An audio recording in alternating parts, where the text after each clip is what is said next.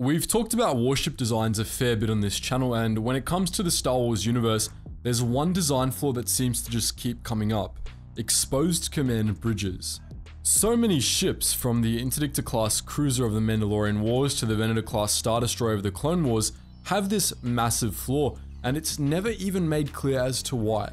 It's something that goes unquestioned all too often, and so in this video, we're going to question it.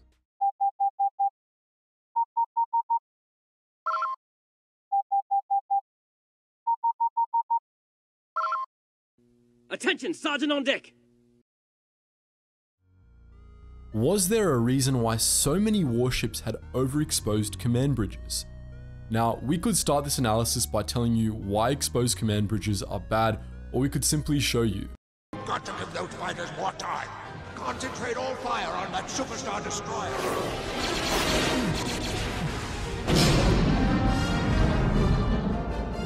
Sir, we've lost our bridge deflector shields. Intensify the forward batteries. I don't want anything to get through. Intensify forward firepower!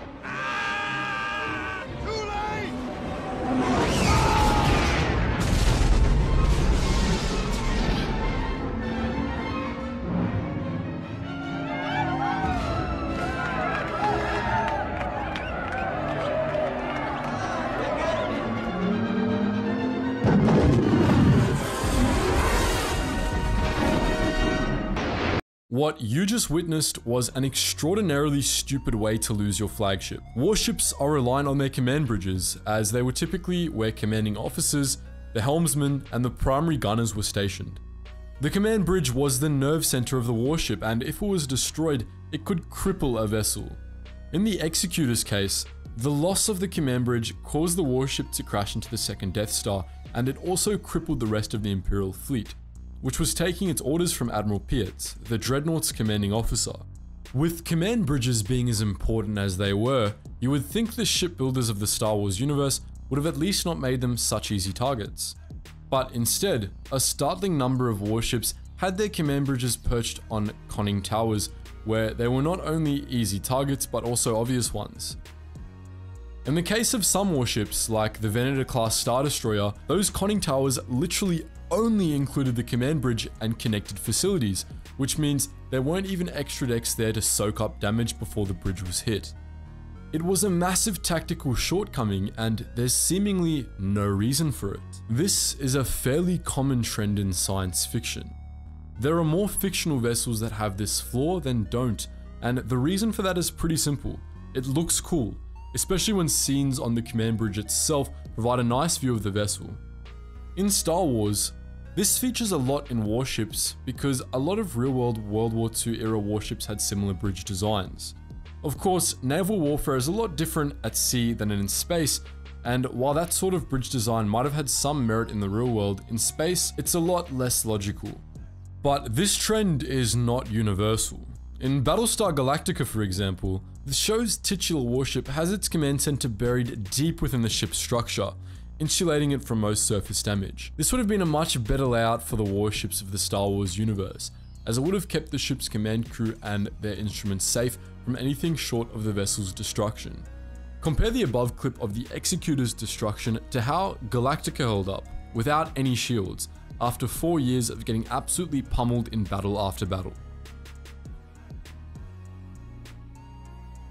To reiterate, that was with no shields, after nearly 60 years of service and 4 straight years of combat, while the ship was already in bad state. And yet, while Galactica was under a pretty intense bombardment, the CIC just got a few sparks and some tremors. That's a hell of a lot better than losing shields and getting taken down by a quick kamikaze run, and yet, most warships in the Star Wars universe took after the Executor instead of the Galactica when it came to command bridge design.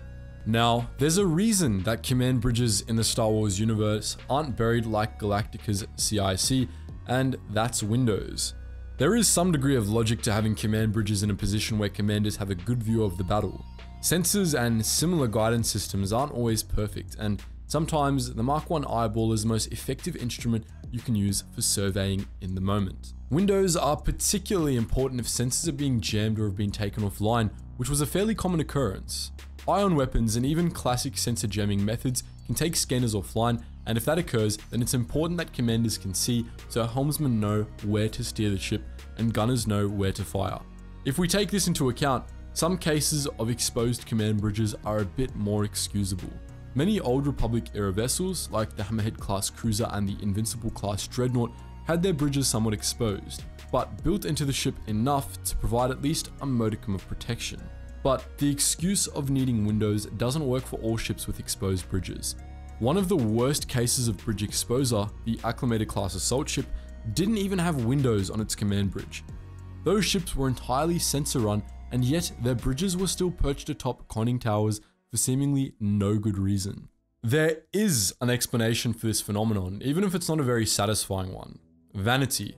It's no coincidence that the warships with their worst cases of bridge exposure were intended to be flagships, the jewels of powerful fleets. The worst offenders are the whole Star Destroyer line and the Separatist Dreadnought Malevolence. In both of those cases, vanity definitely played a big role in the design. The Star Destroyers were intended to be the symbol of the most powerful navy in the galaxy, while the Malevolence was to be their flagship of the whole CIS navy. Their commanders would have been powerful, well-known individuals and their command bridges were so exposed as a symbolic gesture of power and status. In a sense, exposed command bridges could be considered a taunt to the enemy. Pretty much all warships in the Star Wars universe were very heavily shielded, which is likely why the tactical weaknesses of exposed command bridges were so commonly ignored. Shields didn't really have weak points, and larger ships tended to have extremely powerful shields to boot. The Lucrehulk Hulk class battleship, for example, featured incredibly strong shields capable of taking multiple Star Destroyers worth of turbo laser barrages, which makes the exposed bridges on those ships a bit of a moot point. After all, if the enemy had the firepower to get through those sorts of shields, they'll make short work of the battleship, exposed command bridge or not. If these sound like weak excuses, it's because they are.